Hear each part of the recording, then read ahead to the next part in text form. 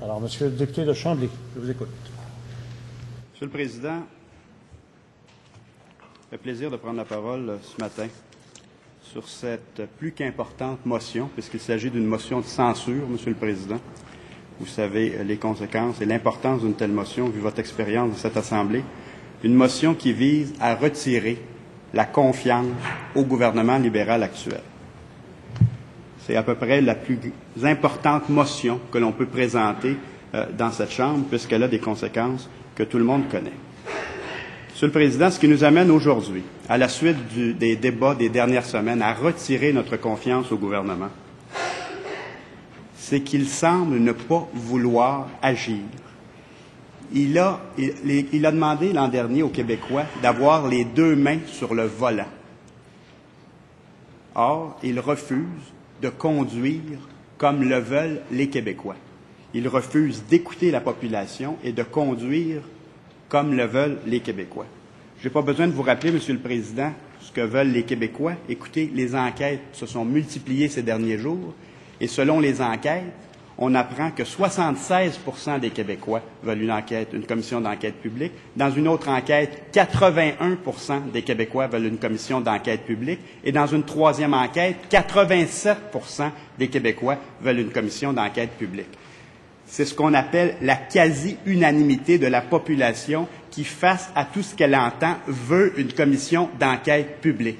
Or, ce gouvernement, qui a demandé d'avoir les deux mains sur le volant, refuse, Monsieur le Président, refuse d'écouter la population, refuse de conduire dans le sens des intérêts des Québécois. Je n'ai pas besoin, Monsieur le Président, de reprendre très longuement toutes les allégations des derniers mois. Les Québécois qui nous écoutent les connaissent. Mais rappelons en quelques mots qu'il s'agit d'allégations, bien sûr, extrême, extrêmement graves, d'un système de collusion et de corruption organisé dans le secteur municipal non seulement à Montréal, non seulement dans la région métropolitaine, mais dans plusieurs endroits au Québec. Il s'agit d'un système de collusion et de corruption à l'intérieur duquel serait impliqué le crime organisé. Finalement, il s'agit d'un système qui, semble-t-il, nous coûte des milliards par année. Monsieur le Président, pas plus tard que ce matin, il y a un entrepreneur dans le journal La Presse qui disait que le système, qui décrivait le système de collusion dans la région métropolitaine et qui disait que cela coûtait 20% de plus. Écoutez, là, on est dans, un problème extrêmement grave. Euh, on est en présence d'un système de collusion organisée qui coûte des centaines de millions, des milliards de dollars par année. Face à toutes ces allégations depuis six mois, sept mois, le gouvernement a privilégié la voie de l'enquête policière. Je vais tenter en quelques mots, Monsieur le Président, d'expliquer aux gens qui nous écoutent la différence entre une enquête policière et une commission d'enquête publique réclamée par la quasi-totalité de la population. Une enquête policière, Monsieur le Président, c'est limité.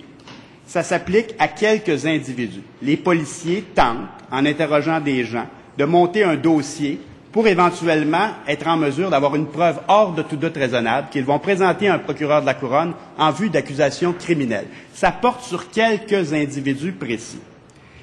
C'est donc limité, c'est long à mettre sur pied. Je n'ai pas besoin de vous dire, Monsieur le Président, les enquêtes à la Vincent Lacroix, qui ont porté sur Vincent Lacroix, qui ont porté sur les Thibault, ont duré des années avant qu'on aboutisse à des accusations, et souvent, ça n'aboutit pas Souvent, ça n'aboutit pas. Et le plus bel exemple, c'est l'exemple de 2003, que tout le monde connaît, où il y a eu une plainte de portée en 2003, mais ça n'a pas abouti à des accusations parce qu'on n'a pas été en mesure de fournir, de faire cette preuve hors de tout doute raisonnable.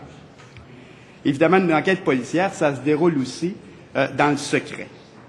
Et les policiers, semble-t-il, ont beaucoup de difficultés présentement à obtenir des témoignages. Je cite, Monsieur le Président, ruefrontenac.com, Daniel Renault, qui disait récemment le ministre de la Sécurité publique du Québec a beau vouloir attendre les conclusions de l'enquête de la SQ avant d'annoncer la tenue d'une enquête publique, ces conclusions ne viendront pas de sitôt si elles viennent un jour. Rue-Frontenac.com a en effet appris de sources sûres que les enquêteurs des crimes économiques de la SQ, qui mènent de front au moins une demi-douzaine d'enquêtes de corruption municipale et de malversation, essuient régulièrement une fin de non-recevoir lorsqu'ils appellent ou se présentent dans certaines villes visées par leur enquête pour parler à des employés qui pourraient leur donner des renseignements.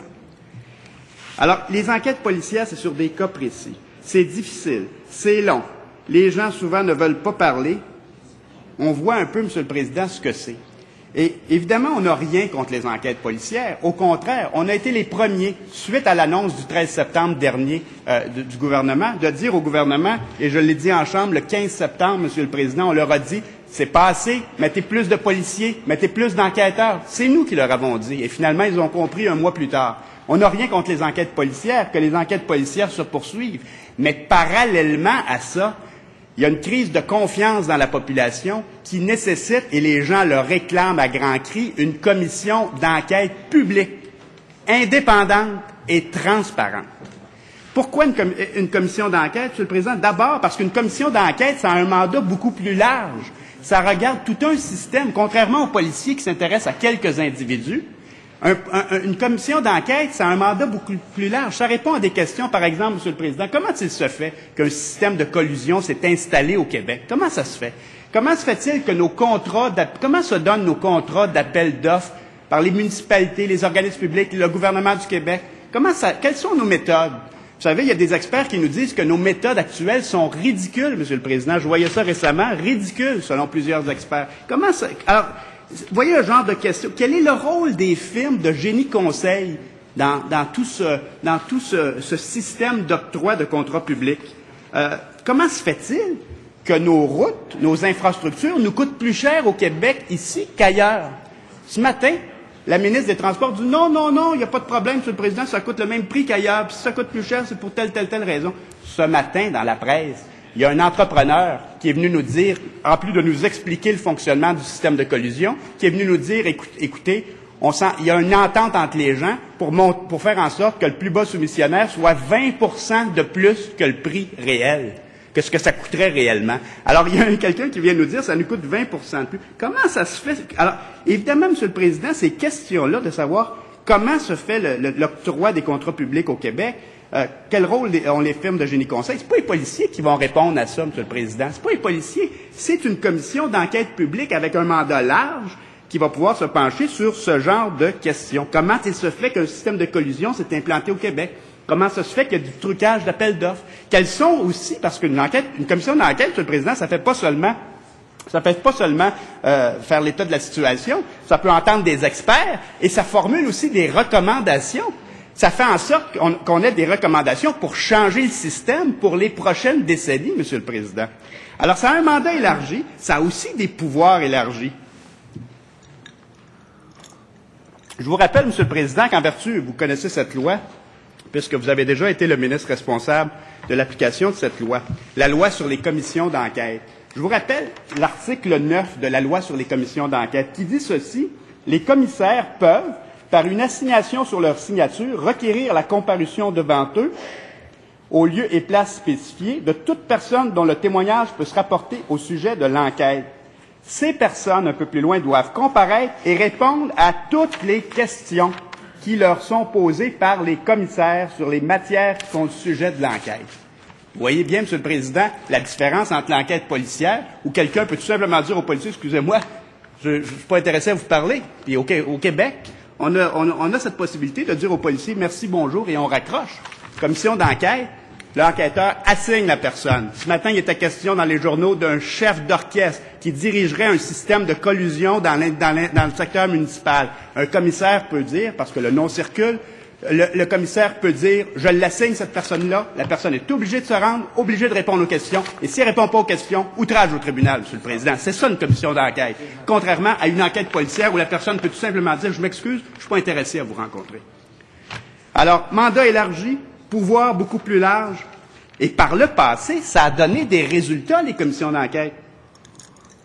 Écoutez, il y a plein d'exemples, Monsieur le Président, je vous en nomme deux. La commission Clich, les années 70, sur la liberté syndicale dans l'industrie de la construction. La commission Clich s'est penchée sur le problème, a fait un état de situation, a formulé des recommandations au gouvernement, 134 recommandations pour changer les choses. Le gouvernement a mis en, application une bonne partie de ces recommandations et ça a assaini le climat sur les chantiers de construction pendant de nombreuses années, voire même pendant plusieurs décennies. Je vous donne un autre exemple plus récent, la commission Poitras. Vous vous rappelez dans les années 70 que plusieurs allégations sur certains comportements douteux, notamment à la sûreté, dans, le, dans le milieu policier, notamment à la Sûreté du Québec. Le gouvernement du Québec, qui était le gouvernement du Parti québécois à l'époque, a décidé d'instaurer une commission d'enquête sur ces questions, présidée par le juge Laurence Poitras.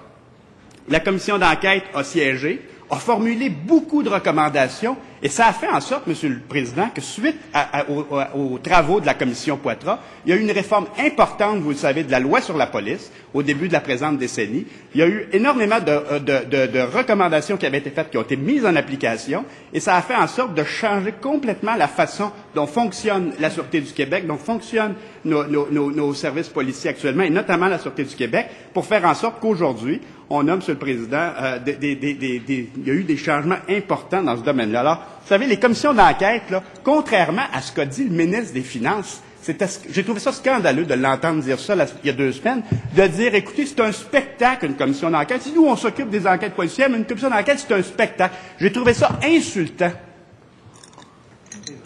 Et Monsieur le Président, insultant pour tous les gens qui ont présidé des, commissions d'enquête, Pierre-Marc Johnson encore tout récemment, Monsieur le Président, Laurence Poitras des années 70, tous ceux qui ont présidé des commissions d'enquête et qui ont fait des recommandations, j'ai trouvé ça insultant de dire que c'est un spectacle. Alors, donc, ça donne des résultats et ça fait des recommandations.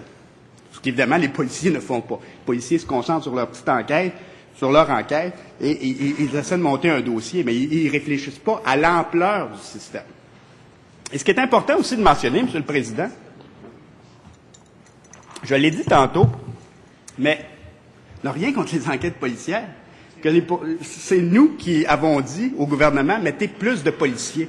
Que les enquêtes policières se poursuivent, mais en parallèle, dès maintenant, qu'on instaure dès les prochains jours cette commission d'enquête qui prendra quelques semaines à s'installer, qui commencera à siéger en 2010. Les, les, les Québécois veulent une commission d'enquête qui siège dans les prochains mois, pas une commission d'enquête qui siégera en 2011 ou en 2012. Le problème, il est urgent, il est important, et les Québécois s'attendent à ce, soit, à ce que la commission d'enquête parte dès maintenant. Alors, on peut très bien faire l'un et l'autre. C'était le cas pendant la commission Gomery. Il y avait les deux, enquête policière et commission Gomery. C'était le cas pendant la commission Poitras, on peut, la commission euh, Clich, enquête policière et euh, commission d'enquête.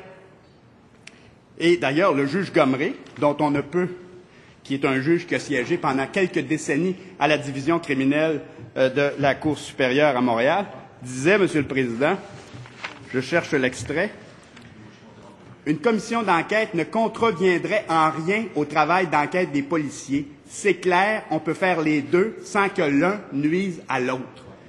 Juge John Gomery, Monsieur le Président, un expert qui a siégé presque 30 ans à la Cour supérieure qui dit ça.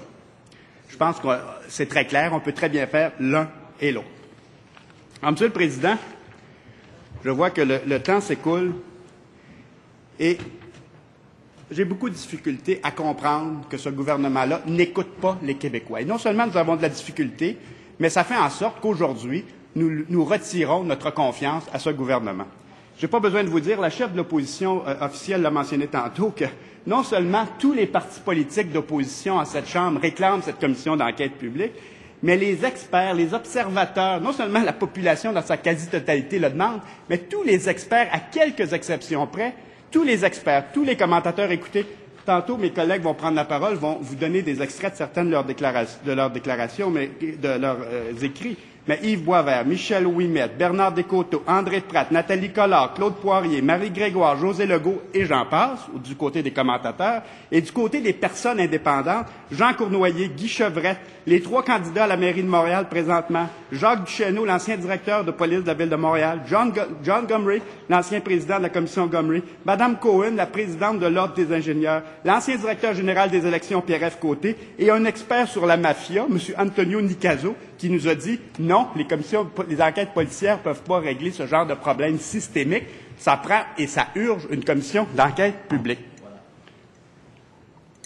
Monsieur le Président, je conclus. J'aurais pu vous citer plusieurs de ces commentateurs, dont certains, c'est le moins qu'on puisse dire, ne sont pas reconnus pour leur sympathie envers notre formation politique. Je pense à André Pratt qui titrait Une enquête, Monsieur le Premier ministre. Je pense à Alain Dubuc qui disait la même chose dans le même journal. Je pense à Nathalie Collard qui disait il faut mettre fin à la collusion et ça prend une enquête publique. Monsieur le Président, tout le monde le dit. et ce gouvernement n'écoute pas. C'est en quelque part scandaleux. Ils nous ont demandé d'avoir les deux mains sur le volant et ils ne conduisent pas dans le sens de ce que les Québécois veulent, dans le sens des intérêts du Québec. Monsieur le Président, il importe d'avoir rapidement cette commission d'enquête publique, indépendante et transparente. Et je peux dire au gouvernement, Monsieur le Président, que si jamais, si jamais notre motion est défaite aujourd'hui, on lâchera pas. Monsieur le Président, on lâchera pas parce que c'est la volonté des Québécois. Les Québécois veulent une commission d'enquête publique, indépendante et transparente. Et je peux dire au gouvernement qu'on lâchera pas ce dossier-là. On va continuer à les harceler tant qu'ils n'auront pas institué cette commission qui est réclamée par toute la population du Québec. Merci, Monsieur le Président.